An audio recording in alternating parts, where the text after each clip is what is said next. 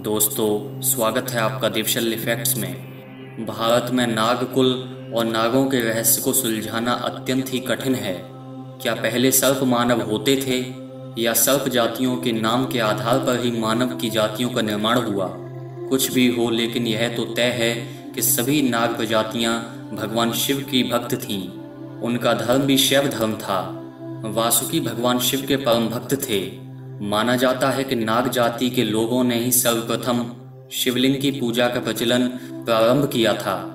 वासुकी की भक्ति से प्रसन्न होकर ही भगवान शिव ने उन्हें अपने गणों में शामिल कर लिया था। वासुकी को नागलोक का राजा माना गया है। समुद्र मंथन के समय वासुकी नाग को ही रस्सी के रूप में पर्वत के चारों ओर लपेटकर मंथन किया गया था, जिसके चलते उनकी संपूर्ण देह लहूलुहान हो गई थी। जब भगवान श्री कृष्ण को कंस की जेल से चुपचाप वासुदेव उन्हें गोकुल ले जा रहे थे, तब रास्ते में बारिश के चलते यमुना के उफान से वासुकी नाग ने ही भगवान कृष्ण की रक्षा की थी। वासुकी ने ही कुंती पुत्र भीम को दस हज़ार हाथियों के बल प्राप्ति का वरदान दिया था। वासुकी के सिर पर ही नागमणि होती है। पुराणों के अनुसार सभी नागों की उत्पत्ति ऋषि कश्यप की पत्नी से हुई थी। जिसमें से प्रमुख नाग थे, शेषनाग, वासुकी, तक्षक, करकोटक, पद्म, महापद्म, शंख, पिंगला और कुलिक शेषनाग, वासुकी, तक्षक, करकोटक और पिंगला, इन पाँच नागों के कुल के लोगों का ही भारत में वर्चस्व था। यह सभी कश्यप वंशी थे। इन्हीं से नागवंश चला। नागवंशावलियों में शेषनाग को नागों का प्रथम राजा माना जाता है। शेषनाग को ही अनंत नाम से भी जाना जाता है। इसी प्रकार आगे चलकर शेषनाग के बाद वासुकी हुए। वासुकी ने भगवान शिव की सेवा में नियुक्त होना स्वीकार किया। वासुकी का कैलाश पर्वत के पास ही राज्य था। और मान्यता है कि तक्षक ने ही तक्षशिला बसाकर अपने नाम से तक्षक कुल चलाया था। इन तीनों की गाथाएँ पुराणों में पाई जाती हैं। शेषनाग को भगवान विष्णु की सेवा का अवसर मिला।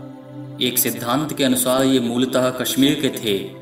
कश्मीर का अनंतनाग इलाका इनका गढ़ माना जाता था। कांगड़ा, कुल्लू व कश्मीर सहित अन्य पहाड़ी इलाकों में नाग ब्राह्मणों की एक जाति आज भी मौजूद है। महाभारत काल में पूरे भारतवर्ष में नागा जातियों के समूह फैले हुए थे।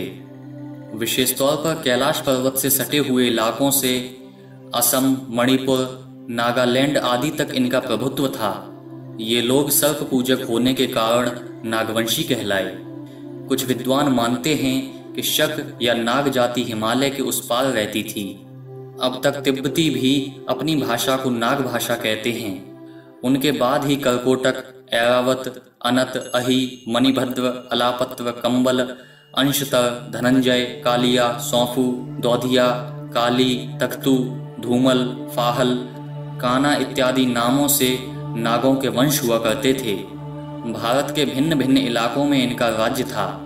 अथर्ववेद में कुछ नागों के नामों का उल्लेख भी मिलता है, जैसे कि स्वज, प्रदाक, कलमाश, ग्रीव, अलीक, दासी, दुहित, अस्ति, तगात अमोक और तवस्तु आदि। नागा आदिवासी का संबंध भी नागों से ही माना गया है।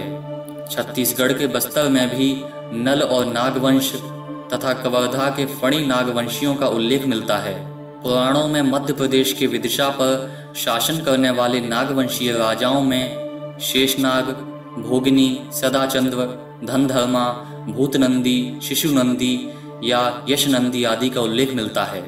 पुराणों के अनुसार एक समय ऐसा था, जबकि नागा समुदाय पूरे भारत में शासन किया करते थे। उस समय उन्होंने भारत के बाहर भी कई स्थानों पर अपनी विजय पताकाएँ फहराई थीं। तक्षक, तनक और तुस्त नागाओं के राजवंशों की लंबी परंपरा रही है। इन नागवंशियों में ब्राह्मण, क्षत्रिय आदि सभी समुदाय और प्रांत के लोग थे। नागवंशियों ने भारत के कई हिस्सों पर राज किया था। इसी कारण भारत के शहर और गाँव नाग शब्द पर आधारित हैं।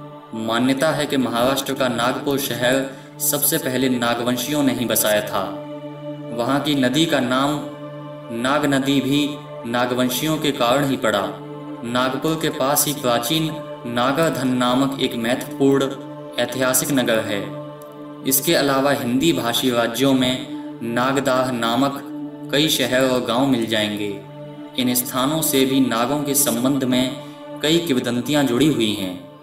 नगा या नागालैंड को क्यों नहीं नागों या नागवंशियों की भूमि माना जा सकता है? यदि आपको वीडियो पसंद आए तो प्लीज़ इस वीडियो को लाइक कीजिए और चैनल को सब्सक्राइब कीजिए, जिससे कि आने वाले ऐसे ही वीडियो आप सबसे पहले देख पाएँ।